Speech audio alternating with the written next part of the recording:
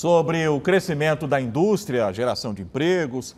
Nós conversamos agora com o presidente da Federação das Indústrias de Goiás, Sandro Mabel. Muito obrigado por estar aqui com a gente. Obrigado a você, Carlos Magno, Fernanda. Boa noite, seja bem-vindo. Alegria minha. Deixa eu te fazer uma pergunta pessoal, né? Pode te chamar de você mesmo? Lógico. Você teve é, seis mandatos né, de é. deputado federal.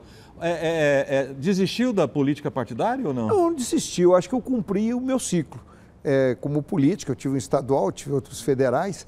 É, eu acho que eu cumpri um, um ciclo até longo e é hora de você passar para outros. Eu passei para outros mais jovens que pegaram esse sistema e entrei para o sistema da indústria, o sistema que também é uma política, política né, de uma também. certa maneira é, é, a política industrial, a política de desenvolvimento da educação, de treinamento e tal. Então eu achei que eu, puder, eu poderia ser mais útil aqui, dando oportunidade de outros ficarem lá. Você fica muito tempo lá, você vai ficando cansado. Ô Sandro, qual que é o peso da indústria na nossa economia? E outra coisa, emendando uma pergunta, que atrativos Goiás tem para trazer indústrias é, de outros lugares? Em 1984, eu falei para o governador Onofre Quinan, é, governador, vamos tirar esse projeto que foi feito da, da gaveta que foi feito para Arisco na época, e vamos criar esse fomentar para trazer mais indústrias. Ele gostou da ideia. E, tanto ah, que é uma... fomentar um, um programa de incentivo à indústria. Incentivos à indústria. Tanto que a Mabel foi a primeira e ela cresceu muito aqui. Assim foram muitos, nós fomos atrás, e os outros governos, depois o Santilo, o Íris, o Magui, todos incentivaram. O Marconi criou um programa dele também, e agora o Caiado criou um programa dele também, mas todos incentivando a industrialização. A indústria vem por duas razões. Primeiro, a localização, então, que nós não aproveitamos tanto. Nós podemos industrializar muito mais o nosso milho, a nossa soja, os nossos minérios, e nós não fazemos isso. Nós não temos uma política do governo querendo que industrialize aqui. Então, é, hoje tem muito mais incentivo para exportar e exportar os empregos juntos do que produzir aqui no Estado e dar emprego para todos aí que são nossos telespectadores. Com isso, Goiás poderia estar muito mais avançado na área industrial, mas mesmo assim avançou muito. A outra política muito firme que foi feita por muitos governadores, principalmente o Maguito fez isso muito, o Marconi também fez isso muito. O que, que é? O que, que eles fizeram? Incentivar indústrias que não tinham muito a ver com o Estado, indústria automobilística. Por quê? Indústria farmacêutica, que tem a ver com o Estado? Aqui nós não temos nada que possa dizer, a indústria automobilística, as peças vêm todas de fora, e depois o mercado consumidor é São Paulo, é Rio de Janeiro. Mas mesmo assim, ele incentivou para que isso daí pudesse gerar empregos. E com os empregos, arrecadação. E com a arrecadação você desenvolveu o Estado. Então, foram políticas é, de forma diferente, mas que fizeram essa industrialização de Goiás. E eu me sinto muito gratificado. Por isso e que o, eu trabalhei muito para isso. o peso da indústria é maior do que o do campo? É, o, o peso da indústria é maior do que o campo. Em termos é de produção, maior, né? de emprego, de empregos, em termos de, de, de, de, produção de impostos. A indústria recolhe, sei lá, 10 vezes mais do que o campo recolhe de imposto, que é o que mantém a máquina funcionando, tudo isso. Então a indústria, os serviços são mais pesados do que o campo. É, o campo está em terceiro lugar na geração de riqueza. Sim, mas o campo tem a sua importância porque é claro. ele ocupa e produz e faz, mas em termos de geração de riqueza, porque você tem que agregar coisas. Tá? Não adianta você produzir só matéria-prima, você tem que agregar uma matéria-prima. Por que, que a gente não faz isso? Por que, que a soja, o milho, o arroz, feijão, tudo que a gente produz aqui na, na agricultura não é processado aqui, industrializado aqui?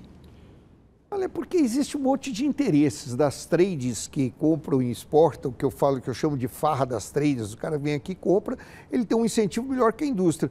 Custa mais caro para a indústria comprar uma soja, para industrializar, do que a que é vendida pela trade para exportar. Então, o que, que vai deixar de, de, de, Vai exportar toda a soja. É, é, eu, se eu fosse governador, eu ia lançar um programa grão zero para exportação. Zero. Vamos industrializar tudo aqui dentro do nosso estado, entende? criar-se condições para fazer isso. O governador Ronaldo Caiado, em julho, ele criou alguma coisa nesse sentido para a soja, pouquinha coisa, já mudou.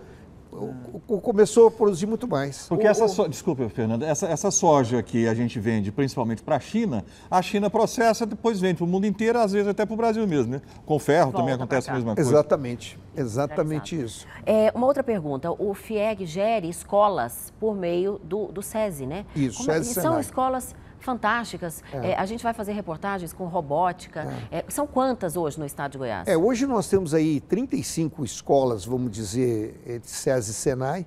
Nós, essas escolas estão em muitas cidades do interior e aqui na capital também, no entorno de Goiânia.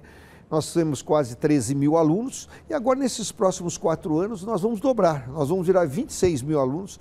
Nós fizemos todo um remanejamento na FIEG, nós teríamos 40 milhões nos próximos quatro anos para aplicar nessas novas escolas. Nós fizemos um remanejamento e conseguimos juntar um bilhão.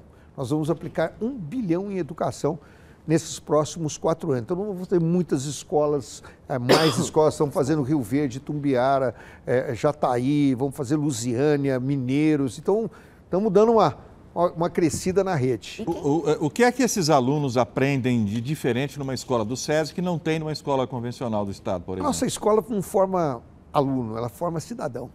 Nós formamos a pessoa, o menino completo, a disciplina, é, ele aprende empreendedorismo, ele aprende é, é, robótica, informática, ele aprende educação financeira, ele aprende como gastar o dinheiro dele, como economizar, ele aprende a conviver com outros meninos, ele aprende a, a, a, aquilo, é, tudo que tem de moderno na indústria e o principal que ele aprende, a vontade de trabalhar. Nós desenvolvemos nele uma vontade dele querer trabalhar na indústria, no comércio, ou no serviço, ou na agricultura. Então, isso é incutido dentro do menino. Então, nós formamos lá campeões, vamos chamar assim. Essas vagas devem ser disputadíssimas, né? Quem pode ter acesso? São, tem muitas, é, tem muitas escolas que são disputadas. É, muito disputadas, nem começou, a, nem abriu a matrícula, já está lotada a, a, a, matrícula. Essas escolas nós estamos aumentando as vagas. Mas para filhos e, de industriários? Não, não, não necessariamente comunidade como um todo. Hoje não tem muito mais essa, essa divisão, sabe? Porque o menino que aprendeu uma robótica para eh, a indústria 4.0, mas ele pode aprender a robótica para fazer medicina e amanhã ser um cirurgião que hoje é feito em robótica.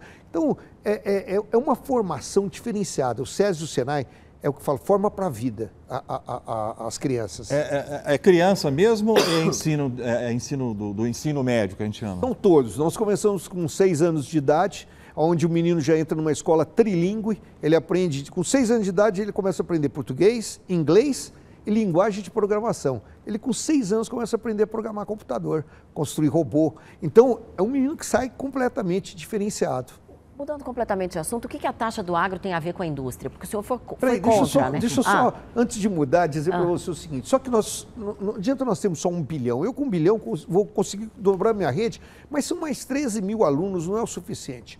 Então agora nós lançamos um programa hoje, nós fizemos um piloto durante um ano e hoje nós lançamos um programa onde nós pegamos quatro municípios, 13 escolas, 3.500 alunos dos municípios. O município entrega a escola para nós administrarmos, nós colocamos a nossa gestão lá, a escola é dele, os professores são dele, a educação é dele, é tudo dele, o Fundeb é dele, é tudo dele. Nós só colocamos a experiência do SESI, do SENAI, na administração. Então os meninos começam a aprender tudo isso que não vai aprender. Então, por exemplo, pega um município como Flores de Goiás, que entrou nesse primeiro ah, lá programa. No lá no Nordeste goiano. Quando que o menino daquele ia aprender a falar em, em robótica, é. isso, aprender a programar computador com 6, 7 anos de idade? Sem chance. Nós, então, estamos implantando, começa a, a funcionar. Nós vamos fazer isso agora, no primeiro momento, em 50 cidades e queremos fazer é, 500 escolas, se Deus quiser. Que maravilha. E ficou me devendo a resposta, mas no bastidor acabou. o senhor me conta. Chama outra vez que eu venho. Combinado. Olha só, muito obrigado, viu?